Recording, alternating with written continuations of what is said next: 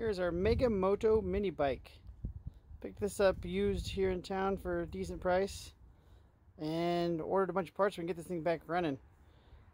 funny thing is, as you can see the front forks are bent back and the handlebars are way forward and all the controls are smashed up.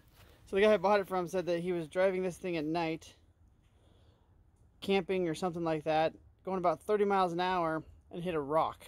So I bent the forks back and he went flying over the handlebars. And yeah, that pretty much end his, ended his uh, fun on this thing. So I got new forks, new handlebars. We're going to put a Predator motor on here. Got a new seat for it and everything. But first, I'm going to take this thing to the car wash and get it sprayed out because it's pretty grody. You can see that they took the engine plate here and already modified it. So I think the Predator motor should fit right on there, hopefully. Uh, I guess we'll find out shortly.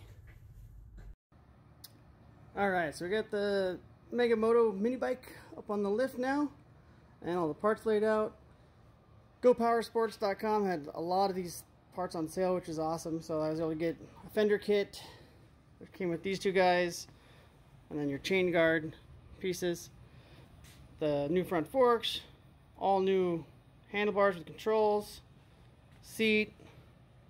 Uh, replacement kickstand and number plate. This one has a kickstand on it, but the spring's missing and stuff, so it was only five bucks for that. So figured why not. And then we got a, this came from eBay, but we got a clutch and chain for it. So I'm gonna start with getting that front fixed. These forks are actually snapped. And then, yeah, those handlebars are just way too far forward. So that's where we're gonna start.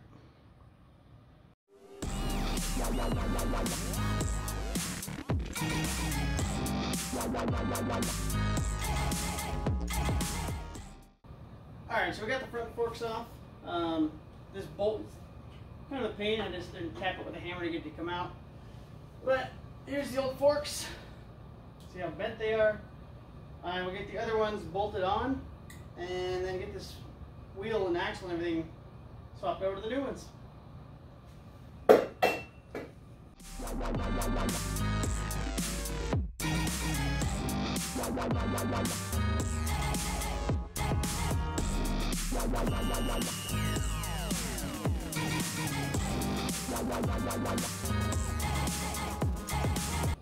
Alright, so the new forks, handlebars, and everything are on. I kind of routed the cables just preliminarily. Um, and now I'm going to get the, the wheel and axle back on there swap out the kickstand. It currently has a kickstand, but there was no spring, and it's really loose, so I just paid five bucks, got a new kickstand with spring and everything. Get that on there, and then, yeah, then I think we should be close to, no, then I'll probably do the seat, and then one of these Predator motors back here is what's going to go on here, and hopefully how they modified the engine plate here, it's pretty ugly, but hopefully the Predator motor will line up with these here and then get the clutch and everything lined up with the rear sprocket. So let's get to it.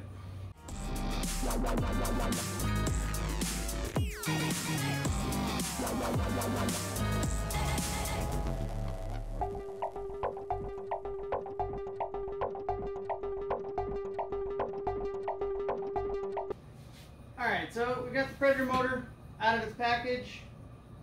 Uh, now looking at it, I'm curious if it's going to actually fit in there as is. I might have to buy one of the stage one kits which would replace the stock exhaust with just a header and this stock air box with just like a cone filter.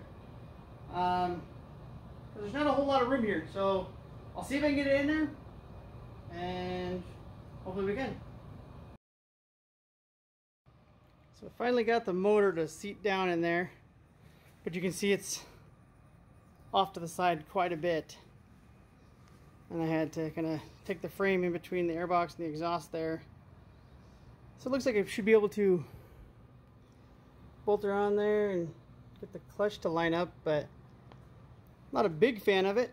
I still probably will get the stage one kit so that this can sit in there better. They also offer a motor mount plate for this engine in here uh, might pick up. I'll have to check that one out. Alright, so I pulled the motor back out. I wasn't really happy with how far over it was sitting. Um, so I think I'm going to probably get that motor plate that they have, it puts it in the right orientation and everything, and order the stage 1 kit, which will replace this stock airbox with just a cone filter that comes out, and then pull the stock exhaust off with the trumpet header, I believe that's what it's called, that just comes out, and then actually come out and exit out here just above the the rear fender when that's in there. Um, so that will be another video because I have to order the parts. Hopefully they don't take two weeks to come in like the last round of parts. Um, but in that video I'll do the stage one kit on the Predator engine, get the clutch put on it. I've already ordered this, this is a little throttle plate that bolts on right there for my throttle linkage from OBM uh, warehouse. So that'll get put on there. And then one other thing I noticed is the brakes weren't actually like really slowing the wheel down or stopping it. So I took the little caliper off and you can see in there, it doesn't even have a brake pad on this side. There's just the one there. So I'll have to see if I can find some brake pads for this to actually be able to stop because it's pretty important when you got 212 cc's on this little tiny thing. You definitely want to be able to stop. Alright, so we at least got the front end of this thing rebuilt so it can actually roll. Got the new kickstand on it. Um, but unfortunately, I do have to order some more parts. The, I'm going to go with the actual engine plate that's made for putting the Predator in this frame. And then I got to try to find some brake pads for the caliper. And then I'm going to do the stage one kit, uh, which will be the, the trumpet header, the new intake, and most of them actually come with a couple of jets for the carburetor to jet it for uh, the better flow for intake and exhaust.